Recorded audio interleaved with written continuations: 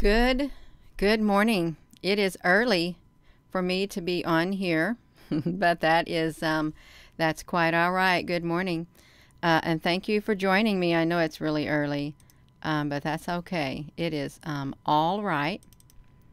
Um, in case you hadn't heard, because I hadn't heard, uh, first let me just say this. Hello, hello, wherever you are in any part of the world. Hello from my heart to yours. In case you all had not heard, hello. Uh, the world's largest single dish radio telescope collapsed. It's in Puerto Rico. Puerto Rico. Um, let me see. Um, let's see again where it's where it said that it uh, was. Um, mm, it was built in, let's see if I've got this right. It was completed in 1963. Uh, it was the world's largest single, single aperture telescope, according to um, Wikipedia. We can look at it right here. Uh, it was also known as the National Astronomy and Ionosphere Center in uh, Puerto Rico. Um, oh my goodness, it was 500 meter aperture spherical telescope right here. This is kind of what it looked like. We can see it right here back in 1963. Um, it surpassed uh, China's. Now that's China's right here. It surpassed China's. For 53 years, it was the world's largest, uh, surpassed in July 2016. Oh no, China's. China surpassed it in 2016. This is China's. They've got the world's largest uh, aperture spherical radio telescope in the world. Um, but if you're just tuning in, let me just put this back here on the screen. This um, this telescope has collapsed right here. Look at that. Is that not ominous looking? Literally, and the thing is, it was like it was just sitting there like that in that little area like that. And how how nice of it, I shouldn't say nice, what are the chances of it collapsing uh, with all that is going on in the world? Okay, why? They said the cable snapped, is what they said happened. Um, hello, they said the cable snapped on it. Um, so we're gonna we're gonna look at these right here. We're gonna we're gonna look at this um, video right here uh, on this. Um, let me let me see if I can get this. We're gonna listen to it if I can put it back to the screen, we're going to listen to this. Uh, and I'm not going to talk about the collapsing of this. Uh, so here we are with Angel Vasquez. He's the director of operations, right? Of the Arecibo telescope operation. Of the Arecibo Observatory, and he will be talking about what happened today here. Okay, so at the, uh, around 7:56 in the morning, uh, we were uh, instructed by the administration to take all the uh, valuable equipment out of the control room area. My office is also adjacent to the control room area. We were in that process when we heard a loud sound, a loud bang outside the control room. When we looked outside the control room, we, uh, we started to see the eventual downfall of the observatory. What happened was from the tower, we know that in August, when the auxiliary uh, cables came off from the Tower 4, the one that's to my left here, and uh, one of the uh, uh, then we had a main cable at the beginning of November. What happened was those cables during the week, they were there were strands coming off the remaining three main cables, and so these strands coming off, which means they were giving more uh, more stress on the remaining cables. Eventually, it just gave way. So what happened was it came off from that tower, and the, the platform started to come down this way. The azimuth arm got detached from the triangle it fell onto the dish. If this is the dish here, the dry, it didn't fall down. It did not go like this. If what happened was there's because the other two the other two towers still had tension on the towers. So this came down, it came down the azimuth arm, that arm came down around here, and the rest of it, the cables pushed the pushed the rest of the triangle and it came out to here. So you see it, you know, it's not that it just it didn't it didn't do this because they, they those other cables did have tension. So it came up to the side, and this whole process took 30 seconds. And an unfortunate uh, icon in radio astronomy was done. So um, I'm wondering, how did the, the Gregorian dome hit the the When effective it fell, it, it, when it fell down, it just got squashed. Okay, thank you. And uh, Remember, that's a remember this is a 900 ton uh, That is true. structure of 500 feet in the air. Mhm. When 900 tons falls 900, you know, 500 feet, you're not gonna. I don't think anything as much of this is left. so, um, what were your your your talks when you when you saw that Uh, happen? So um, it's 900 tons and it failed. The cable snapped and it didn't come straight down, they said. Uh, one of the cables snapped and that part of it fell down in there. And then the rest of it, boom, cracked right in half. And, and I know, you know, and a drone caught the footage. Let's let's look at this. We're going to look at this, what this uh, NPR thing says uh, right here. Uh, the Arecibo Observatory Telescope collapses, ending an era of world class research. World class research. Um, they updated it on the 4th. It has collapsed after weeks of concern from scientists over the fate of what was once the world's largest single dish radio telescope. Its 900 ton equipment platform, suspended from 500 feet above the dish, fell overnight. Fell overnight. Did they just say it just fell overnight? It happened at nighttime. They did. Uh, after the last of its healthy cable supports failed to keep it in place. No injuries were reported, according to the National Science Foundation. Um, it is saddened by this development. As we move forward, we will be looking for ways to assist the scientific community and stay strong uh, in our strong relationship with the people of Puerto Rico. I'm not going to show this because I think this is a YouTube video. Um, it was an uncontrolled collapse because of the failures in the cables that suspended the platform and its huge Gregorian dome above the 1,000 foot wide reflector disc. And the man that we saw, uh, the observatory director of telescope operations, said he was in the central room when the equipment began to plummet to the ground. In an interview by Twitter, he said he and his other staff members, had been in the process of removing the valuable equipment from the facility. So they were told already to remove the valuable equipment from the facility. Uh, they were told. Okay? Did you just hear that? They were told to remove the valuable equipment. And then the Big Bang came. And when they looked outside the control room, they started to see the eventual downfall of the observatory. He added that strands of the remaining three cables had been unraveling in recent days, increasing the strain. And because of the support towers maintained tensions as the collapse occurred, some of the following equipment was yanked across the side of the dish rather than falling straight through its focal point. Well, then you can't use the equipment if it was yanked across the dish. Uh, you can't do it. The whole process took 30 seconds. He said it was very unfortunate. An icon in radio astronomy was gone. And he started uh, working there for 43 years. So the massive reflector dish is made up of perforated aluminum panels, leaving an expanse of greenery underneath. But many of those panels have now fallen to the earth. So, um, they fell to the earth, is what happened. Um, a main cable snapped in early. Look at this. Look at this. One of the main cables snapped in early November. Look at that. So the telescope's trademark dish was nestled. It was left with a huge gash in August after a cable fell and slashed one of its through its panels and then another one snapped. You all, I don't know about this. I really don't know about that. I don't, especially since um, the reason I don't know about it is um, let me let me just say is because of if I can just look over here. I want to look over here. I don't know about it because of um,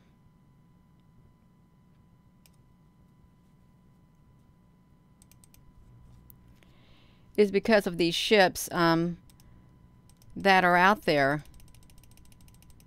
There's all these ships, and you know that's um, it really is unfortunate. I'm trying to get to them. I just shared these um, pictures of these ships last night that are they are surrounding the Earth, and I'm sure they would have picked it up or something like that. They can pick up signals, okay? They can. Let me come back to me. Um, let me just shrink that down. So uh, I think I've got a good image of that also uh, that I put in my screenshot so you all can see it actually um, down here crash to the earth if I can get to it. Yeah. So let's look at that. Look at this. Just smashed it right in two, you all. Just like that. Crack. Yeah. You saw a purple planet next to the moon. Yeah, there's something going on, but uh, look at that. So we can look up in this. Look at that great big tower like monolith thing looking right there. So this is in Puerto Rico. Could you imagine how long it took to build this? That is massive. So um, this looks like uh, uh, oh, that's where the cable was supported in these. Guess they observed it from their observatories, but yeah, look, just you can't use it no more. It'll just lay there, and it will become a ruin. And over time, I guess the the forest will grow up in between this. Wow, right there in the cradle of it. Um, I, I, do want to show you some other things uh, that I had on here. I did want to. I had some other articles. Okay. Um, one second. I'm gonna. I'm gonna get to this. Do you know that there is a? Let's go here. There is a science.gov, your gateway to federal science. All kinds of telescopes in here. Uh, look, the, there's a space infrared. So NASA can get the images of the ships that I'm getting. They can. That this is page is full of um, telescopes from all around the world. But I want to show you all this one. This one is pretty neat if we can see this. They have a um, they have um, a holographic telescope. Look at that, a holographic telescope.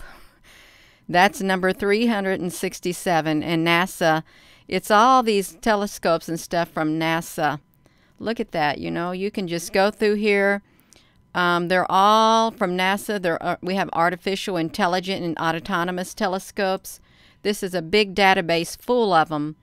Um, all you have to do is go here and you can see them. Okay, it's 24, only 25 pages, but look at that. You can look at any um, telescope thing you want that's out there that they got the thing on here. Spherical. So they're all up there in orbit. my goodness. Oh my goodness. Yeah, so look, autonomous uh, dome for a robotic telescope, all this kind of stuff right here. Uh, it's just mind-boggling, but um, that's okay. Um, uh, we can look at this page right here too. We're going to go right here. This is um, Physics Today, they showed this picture of this observatory right here. Oopsie, hurricanes. Well, I don't know what happened right there. Um, look at this is this is some of the images uh, that it took. I think brief pulse. A brief pulse was detected by uh, Arecibo. This was yeah. So it's it was able to detect deep space. Um, that's pretty um, it's sad. It really is. Look at it, what it look, used to look like right here. Uh, and you can go and you can do the search and you can see these images uh, yourself. Um, look, it can, um, it could, I guess, trace these coming also. So I guess China is the next one. We had to go to look to China. Well, all the other countries have their telescopes too. It's just, uh, oh well. It's not working now. it's not. It's it's not working now. Um, oh yeah, I wanted to take you here to the uh, Lucifer, the Large Binocular Telescope. Um, yeah, the Large uh, Binocular Telescope right here. It's uh, 10,700. It's located um, on 10,700 feet on Mount Graham. Um, its wide mirrors, look, when using both 8.4 millimeter or M and 3.3 zero inch wide mirrors, which centers on 144 M apart, Um, it has the ability at 11.8, 464, 22 wide. Uh, they are joint, individually, are the joint second largest optical telescope uh, in continental North America. The second largest. So um, here's that Lucifer telescope. It's located um, right in Arizona, is um, where it's located at. I just want to just give you a little brief thing. And there was a controversy with this Lucifer one. Uh, they chose they chose to um, put it on the mountain, which was sacred by the San Carlos Apache tribe. And from the environmentalists who contended the observatory would collapse the demise of an endangered subspecies of the American red squirrel on Mount Graham. Um, so, yeah. So they decided they would put it on this Sacred Mountain. Uh, this one right here. Oh, yeah, there was something that you could look. Um, there was some pictures you could see on here. Where, what? Hmm. And I saw the pictures before I had to shut down my computer before I started because it wouldn't let me, um, it wouldn't let me turn on my OSB. Let's see if we can, um, Great. I wanted to see the pictures, but I, I can't see them now for some strange reason. That's not that. Let's see this. Um, the Vatican Observatory Summer School. You can come there and you can go to their summer school. Hmm. I didn't know that. They find the Milky Way's long host sibling black holes, gravitational waves, and space-time singularities. Um,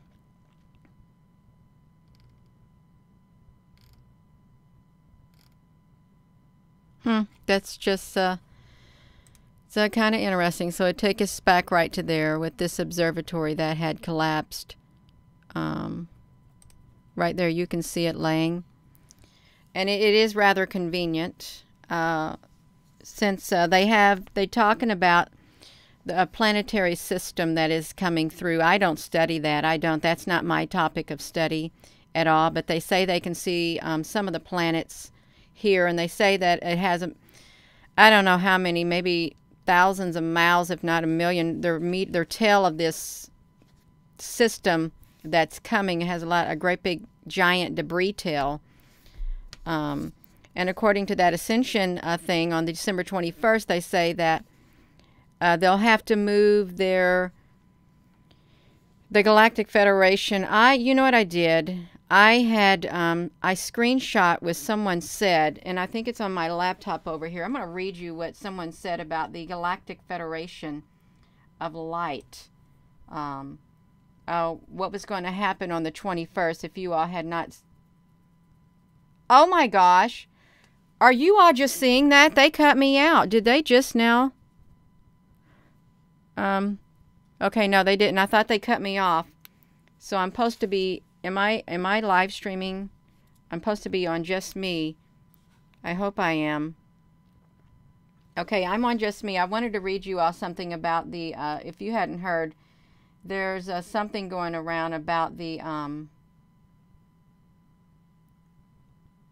December 21st. I guess I didn't save it on here. I don't know where I would have saved it at. I think I think I got it now. I'm going to read it to you. Um, okay, we're going to read this. So I'm just going to bring my laptop a little bit closer. I'm going to detach. Actually, I'm going to detach it because I don't want to. Um, okay, let me take this off of here. I'm trying to detach it, but it won't let me take it off. What is up with this? it will not let me detach my my laptop. So let me do this. I'm going to read you this. Um, no, that wasn't it either, you all. I don't know what's happened. I saved this screenshot and I wanted to read it to you, and I'm pretty sure I saved it here, but I guess I didn't. I am sorry. But they say this large, they're going to, these Galactic Federation is going to move this large sphere um, in front of the Earth to keep it from getting affected by a. Um, solar flash. And they say Nibiru belongs to them according to this one thing. So I don't know what's going on. I really don't. And I can't find the articles that I was looking at. So it doesn't matter now, does it? It doesn't matter at all since I can't find it. So let me just get this back to me. Uh, actually, I'm going to put it back to this collapse right here. This telescope that had collapsed since I can't find the um, thing I wanted to read. It wasn't meant. It was kind of off topic. Uh, so with that being said, I probably am going to go. Um, but I, um, I just wanted to share that with you all in case you hadn't seen uh, what was going on. I didn't know it until my husband mentioned it this morning. He said, I saw something in Puerto Rico about some observatory collapsing. And so I looked at it, and sure enough, there it had it, it had collapsed just like that. Um, you can see it right there. Uh, so with that being said, I probably am going to go. Thank you all for um, coming on here. Um, I know it was kind of early. It's kind of early for me. I didn't even get to do my treadmill walk, but I'm going to do it. I am going to do that. So thank you so much, and I hope you have a wonderful uh, rest of your day. I do.